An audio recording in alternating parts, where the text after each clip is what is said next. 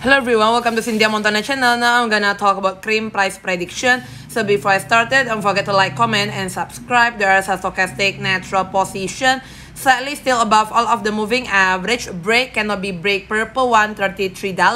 The daily chart basically also is above all of the moving average where there is a stochastic natural position. A one week chart like this above all of the moving average. Totally still having bet on the RSI stochastic overbought position.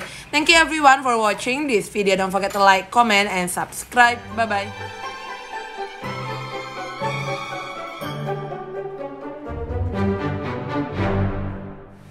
Hello everyone, welcome to Cynthia Montana channel. Now I'm gonna talk about cream price prediction. So before I started, don't forget to like, comment, and subscribe. There is a stochastic natural position slightly still above all of the moving average. Break cannot be break purple $133.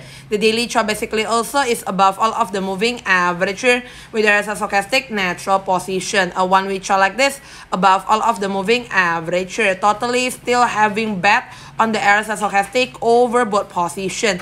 Thank you everyone for watching this video. Don't forget to like, comment, and subscribe. Bye bye